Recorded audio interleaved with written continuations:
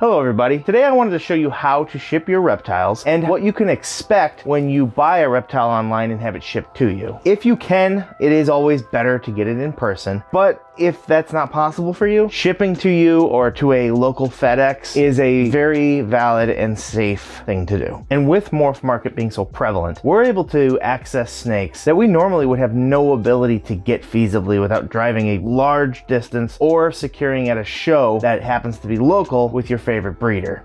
First step before you even get to this is to book your shipment. We have a few options in the reptile community now, and I think, quite frankly, they're all really good. Today, I'm going to be prepping the box through a shipment that I have already booked on Redline Shipping. Redline is a relatively newer company, but they come from people that know what they're doing. They've been in the reptile industry for a long time. They understand what these animals need, and they've really risen to a position of trusted leader in the reptile community very quickly quickly, all things considered. I've used Ship Your Reptiles in the past with no issues whatsoever. They're also wonderfully phenomenal people. And there's also Reptiles to You, which I've never used, but I've also heard great things and I've met and spoken to the people there at shows. They're all wonderful options. You just need to leverage what works best for you. So I want to show you how quick and easy it is to book a shipment on Redline. The only thing you have to do to get started is to make your account. On their website itself, there's plenty of tools here. They actually sell a lot of cool supplies. I believe that's actually how how they got started with really nice supplies and stuff like that. But you can get a quick quote if you just need to quote someone on what the shipment might cost. And then from here on out, you just book the shipment. Once you put your information in, it will save it and you don't even have to do anything else. You can click on the local weather, drop off locations, very convenient to find out if you didn't know for your first times where your local FedEx hub will be because that, when you're all said and done, is where you're going to go to drop your reptile off to be sent off to its next new home. Obviously the weather is very important because you don't want to ship in ridiculously cold or hot weather. On top of that, if there are major weather conditions uh, like tornadoes,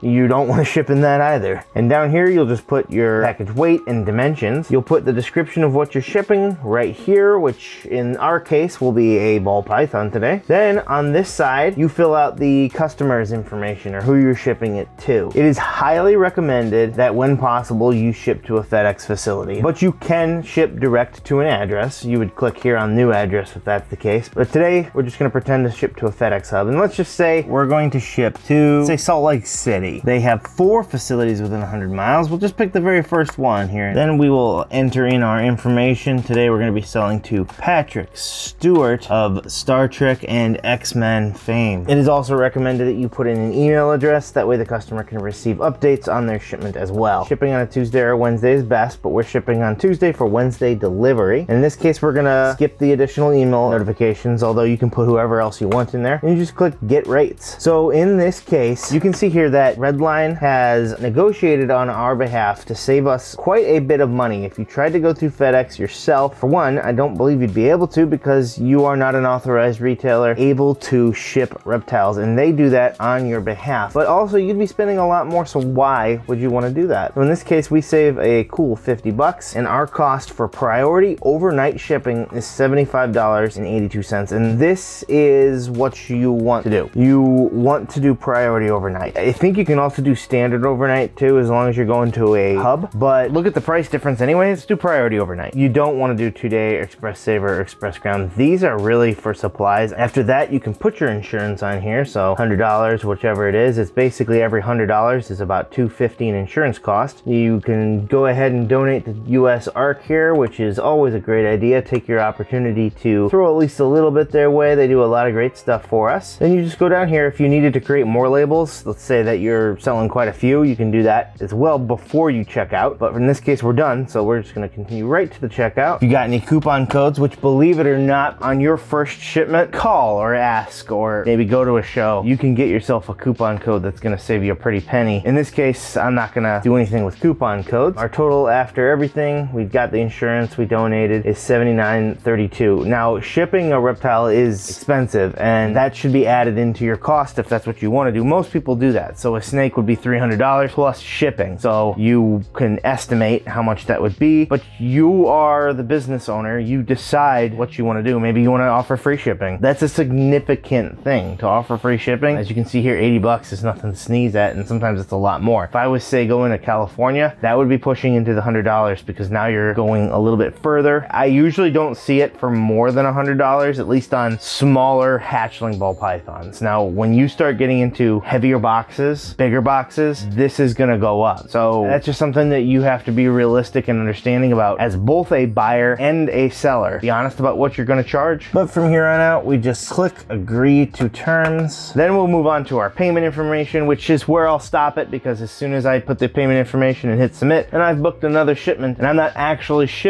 a ball python to Patrick Stewart at this time.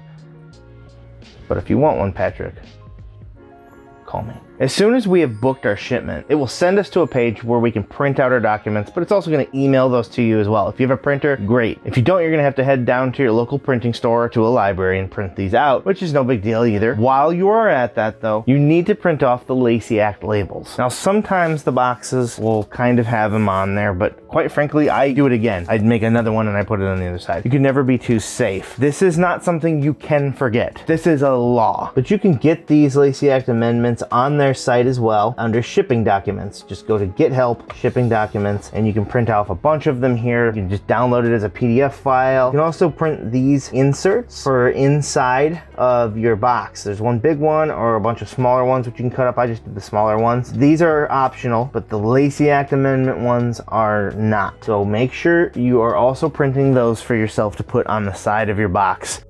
After you've done that, you'll have your labels. Now it's time to have the box. Sites like Reptile Basics sell them, or the very sites that you're sending these out on sell the supplies. So you can get these box kits from them, which come with the box, a bunch of styrofoam padding as well, which is what's going to enable your snake to get safe and sound to its destination. You wanna make sure you pick a proper box size, and this is very important. I see a lot of times people say that they just wanna get, I believe it's the six by six by six. It's a much smaller box, about half the size of this, if not more. It's totally safe for a baby ball python as long as you do not need any sort of heating or cooling element to it. It is very deadly to put heating into these things if not followed properly. I just play it safe and go with the 12 by 9 by 6. Now today I'll show you how, but I will not be putting a heat pack on. A lot of people think that all shipments of reptiles should have heat packs because they need heat. That is very incorrect. And if you do that, you're more likely to kill your snake than had you just forgotten it. Too much heat is way more deadly than a very chilly ball python. It will arrive slightly chilly and cold to the touch, but that is fine. Usually you do not want to put a heat pack in if it's going to be 70 or above. That might surprise a lot of people, but it gets a lot more toasty in this box than it is outdoors. And it is far more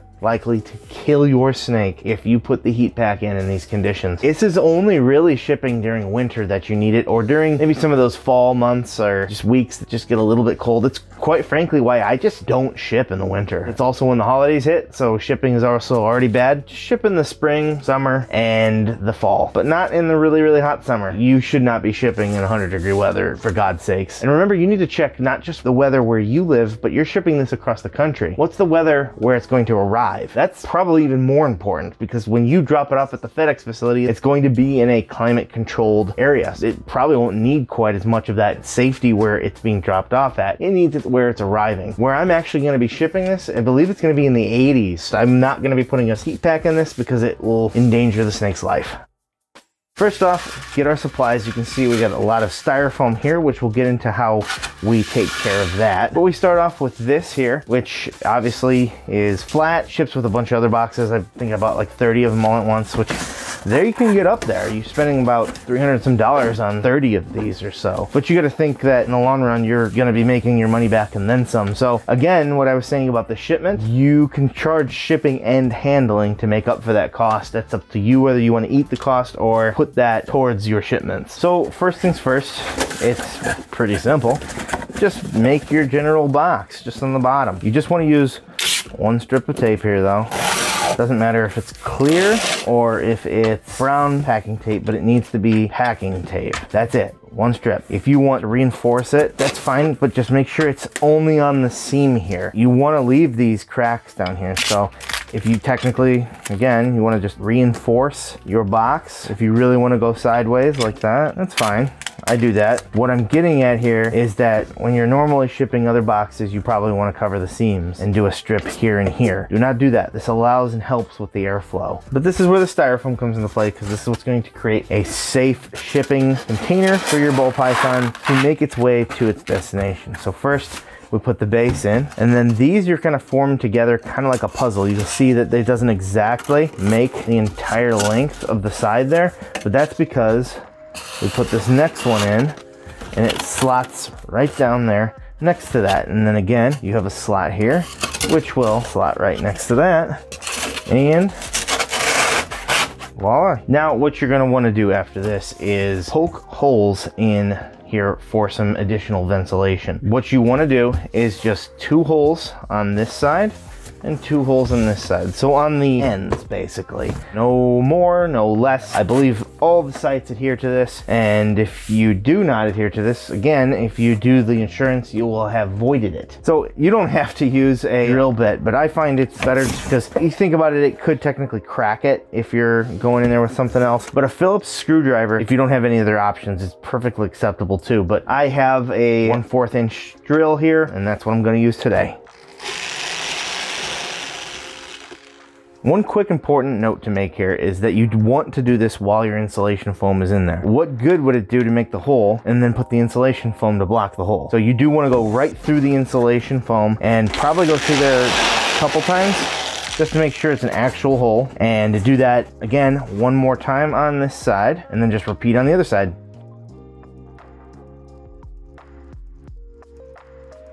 All right, we're all set. Just quick safety note. Don't be holding your hand on the other side of it or you uh, might drill through your hand. So after that, you kind of just want to make sure that you empty your box of some of these little fuzzies that are to be in there. Make yourself a nice little mess here. You can clean that up later. You don't want to be sending that to your customers, I'd say. At this point, we're just going to basically build a nest in here out of some material. I've seen people use cotton, which is really nice looking. I've seen people use towels or shirts even, which is also pretty neat. But today we're to be using some packaging paper.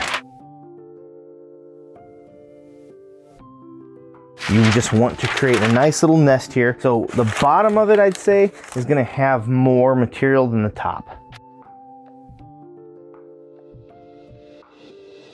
I'd say that this is probably more than enough because remember your snake's gonna be in there too and you've got to have room to put the final piece of insulation foam on top because that's where that's gonna go. One other quick thing, here's one of the Redline labels. Now when you're doing these, whether it be that side or this side, and if you have it printed on there, uh, you can either just use the one or both of them. I use both. You need to fill this out. Three things you need on there. Harmless reptile, which I've heard, I guess you don't because it's there, but I've heard once that you do. I'm putting it on there. So it needs to say harmless reptile. Then you need to put the amount amount of animals that you're sending and what you're sending. So in this case, one ball python. If you had a bigger box and you were sending two, you put two ball pythons. If you had two ball pythons and a crested gecko, you'd put two ball pythons, one crested gecko. And then underneath that, finally, you need the scientific name for the animal you're sending. Again, I'm sending just a ball python today, so this would be Python regius. Then just check mark reptiles, tape that to the box, and you're good to go. In this case, it's already on there. You can see my little spelling error where I wanted to put one ball Rhython. We're gonna put one here as well. Once you've secured your label and made your box up, make sure that you did not accidentally cover up any holes during this. In fact, I often, after I get this packing paper in here, will go through with the drill one more time just to make sure.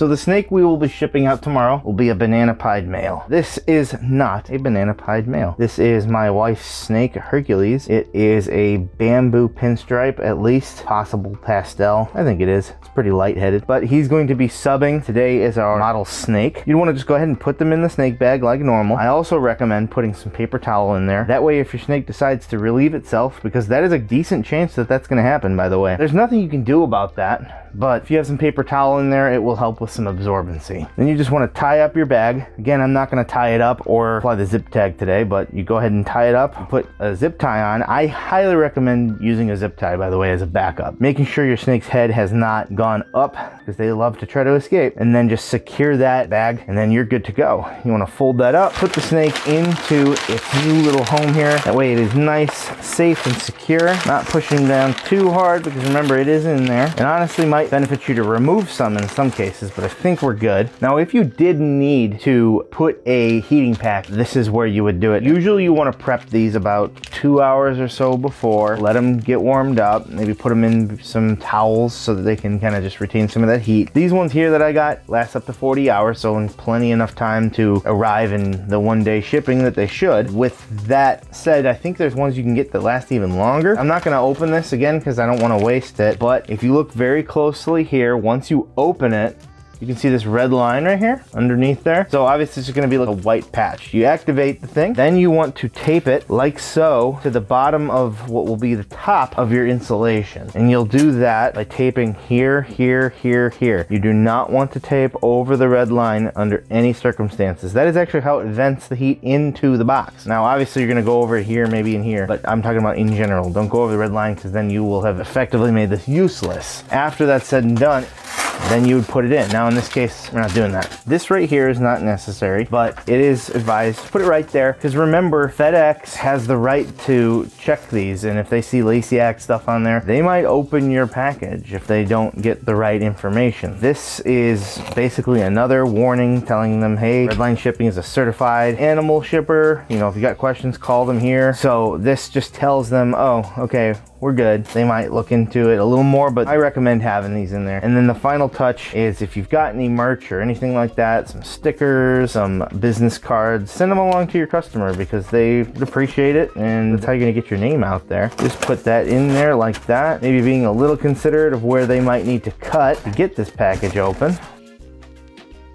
So we'll just say this is our label today. We're gonna put one piece of tape over there and then we'll tape the rest of this to this while not covering the edges so that you can have more room to breathe. And you're pretty much good to go. You just go ahead and drop it off at your local FedEx hub that you booked this all through. Now this is what we like to call a triple container. So the first layer is the box. The second layer is the foam. And the third layer would be the bag that it is in. Now, besides the obvious safe arrival of your animal, there's also one other major concern when shipping your reptile that you need to consider that affects a larger picture than just you. And that is what I was referring to with the Lacey-Acts. The reason all this is around is because there are a lot of eyes and ears who our community. Right now, there's a attempt to revive the Lacey-Act amendments, which would make a white list and make it so that lawmakers who know nothing would have to approve reptiles as being okay versus them having to say, oh, hey, this snake is bad, ban it. At least in that case, if they make what's called a blacklist, they have to become educated about an animal to then make the decision to ban it. The whitelist will just ban everything unless they say it's okay. So to avoid this, it's very important that we represent our hobby well. And the other point of having a triple container is that it doesn't get loose. If you're not careful and you don't use an approved shipping box, it's a good chance it gets out. If you don't use the foam, there's a good chance it gets out. The bag, good chance it gets out. We have a responsibility because people will use that as ammunition to end all of this. And if you don't think it affects you as a ball python breeder, think again because there's already places where you can't really ship ball pythons and such anyways. And maybe they don't make ball pythons illegal, but maybe they make shipping any reptile illegal. That's sayonara to a lot of people. So just remember what you do affects the entire community. It affects more than just you. So you might think, well, this only ruins my reputation. It does not. It ruins everyone's. Um, and politicians are all too eager to use it as ammunition against us. It doesn't take much time. So just take the extra little effort to make sure it's all good. The security and safety of your animals is realistically the only thing. Outside of that, it's just some paperwork. So it's not a very difficult thing. I, I've done these in five minutes and I don't do a ton of shipping. I prefer to do my business in person. I like to meet people. I like to talk to people, but sometimes that's not possible. Um, I've shipped all over the country at this point now, and it's it's crazy to think that. But um, every single time it's been fine, and every single time I pan I panic more than I probably should because I want to make sure it's there, and I'll do the same thing on Wednesday morning. I'll be, hey, You good? It says you got it. It says it's there. You good? You got it? And good. So just make sure you're doing your part and that you're caring for this because it's also a live animal and it deserves your respect and the best chance that it can have in life. With all that said, I do want to preface that anytime you ship, there is a very small risk of delays. Uh, it's just a fact of life. Most of the time, if a delay happens, you're going to have a heart attack, but they're probably going to be fine. It can occur, but they usually are very hardy animals. There's videos out there I saw from Mutation Creation that uh, showed snakes that were left on a tarmac for over a day in freezing weather. When they finally arrived, I think they were a few days late and they were left on a airplane tarmac that's outdoors in Canada in the winter for over a day. You'd think that that's an instant death sentence. They all lived. Um, they're hardy animals, so they're probably going to be fine. Anytime you ship, there is a little bit of a risk, but it's a very negligible risk. And if you're careful, there's nothing really to worry about. So I hope that this helped you. If you're scared or paranoid about shipping, um, good. That means your heart's in the right spot. If you're looking for more tips on how to start a ball python business, you can actually check out our video on that subject right here.